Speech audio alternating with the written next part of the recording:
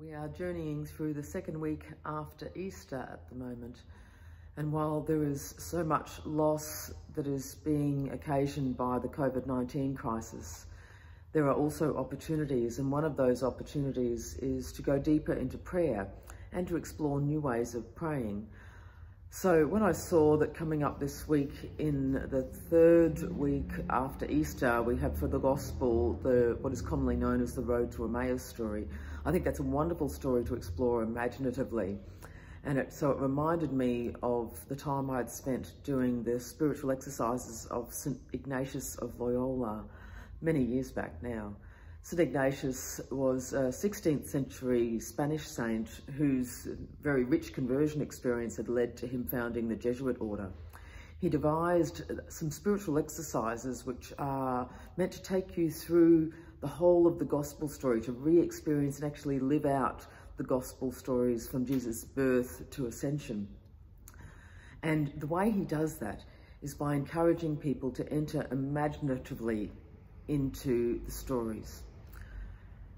I, at that time when I was doing these exercises, I didn't do them in 30 days, I did them across many months part-time. And I had a Jesuit mentor, a wonderful Jesuit mentor, um, who guided me to use my imagination and all of my senses to encounter Christ in the Gospels. And uh, in using our senses, that was coming into a, a little bit of conflict with a very um, cognitive uh, view of scripture that I was currently um, working with. I was uh, in a community that was had a strong doctrinal focus at the time. And so I had to let go of some of the head trip and to explore all of my senses. And I found it led to a really um, rich awakening of my imaginative life and how your imaginative life can be a way into um, a richer spiritual communion with God. So I thought when we come to this story, let's go on an imaginative journey with it. Let's actually encounter, live it, breathe it, experience it with our eyes, our ears, um, our touch, and see where this story can take us. I invite you to reflect with me. A reading from the Gospel according to Luke. Now on that same day, two of them were going to a village called Emmaus, about seven miles from Jerusalem, and talking with each other about all these things that had happened. While they were talking and discussing, Jesus himself came near and went with them, but their eyes were kept from recognizing him. And he said to them, what are you discussing with each other while you walk along? They stood still, looking sad. Then one of them, whose name was Cleopas, answered him, Are you the only stranger in Jerusalem who does not know the things that have taken place there in these days? He asked them, What things? They replied, The things about Jesus of Nazareth, who was a prophet mighty in deed and word before God and all the people and how our chief priests and leaders handed him over to be condemned to death and crucified him.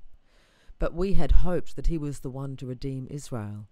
Yes, and besides all, it is now the third day since these things took place. Moreover, some women of our group astounded us. They were at the tomb early this morning, and when they did not find his body there, they came back and told us that they had indeed seen a vision of angels who said that he was alive. Some of those who were with us went to the tomb and found it just as the women had said, but they did not see him. Then he said to them, Oh, how foolish you are, and how slow of heart to believe all that the prophets had declared. Was it not necessary that the Messiah should suffer these things and then enter into his glory? Then, beginning with Moses and all the prophets, he interpreted to them the things about himself in all the scriptures. As they came near the village to which they were going, he walked ahead as if he were going on. But they urged him strongly, saying, Stay with us, because it is almost evening and the day is now nearly over. So he went in to stay with them. When he was at the table with them, he took bread, blessed, and broke it, and gave it to them. Then their eyes were opened, and they recognized him, and he vanished from their sight. They said to each other, Were not our hearts burning within us while he was talking to us on the road, while he was opening the scriptures to us? That same hour they got up and returned to Jerusalem, and they found the eleven and their companions gathered together. They were saying, The Lord has risen indeed, and he has appeared to Simon. Then they told what had happened on the road, and how he had been made known to them in the breaking of the bread. Imagine now that you were one of those friends walking along the road.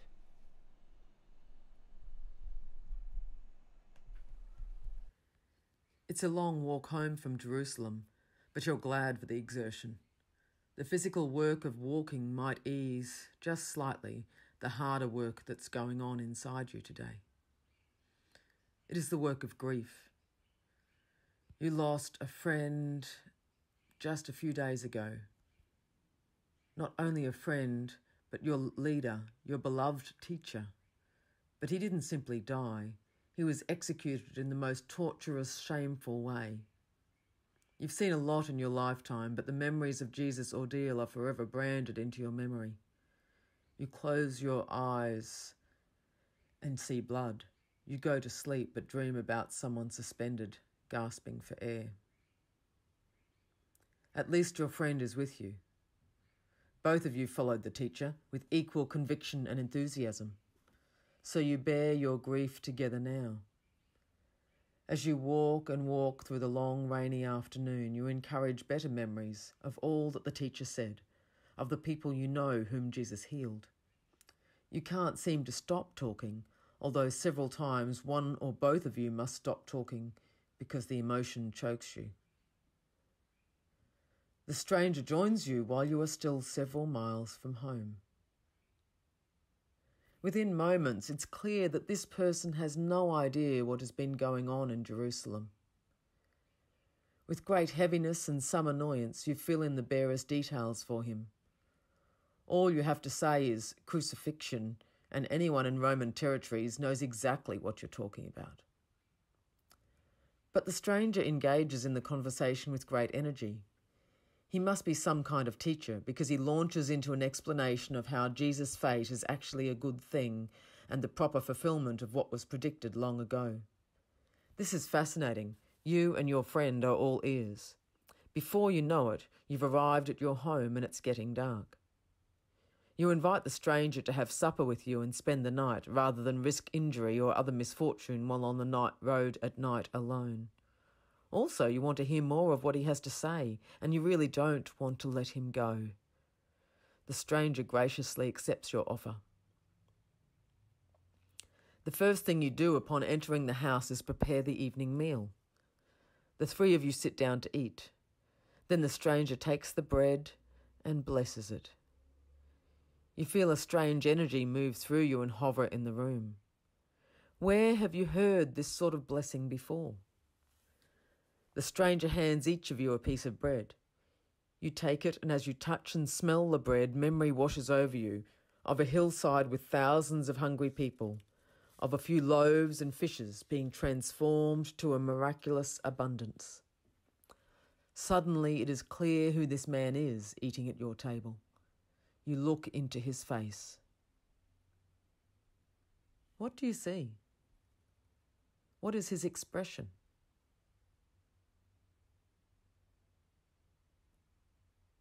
What do you feel?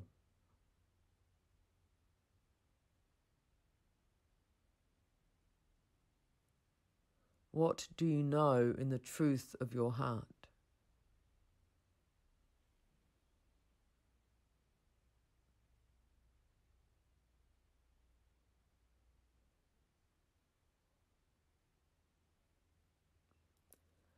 Your friend has barely gotten the words out. Why, it's the Lord! When the stranger vanishes. The room still feels strangely warm, and there is a sense of presence, like energy, like lightning.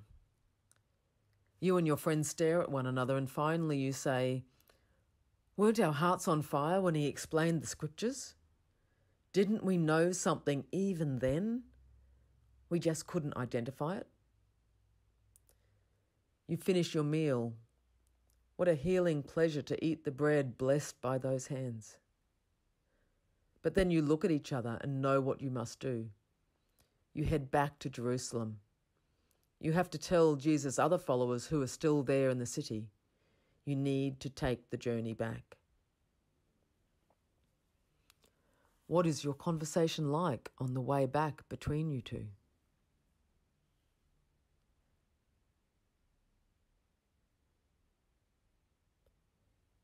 You are travelling at night, something you never do for safety's sake. What does it feel like to be on the road at such a strange hour?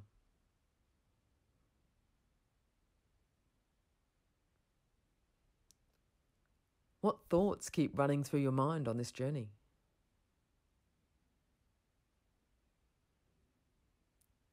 How has your perspective changed now that you have met the resurrected Jesus?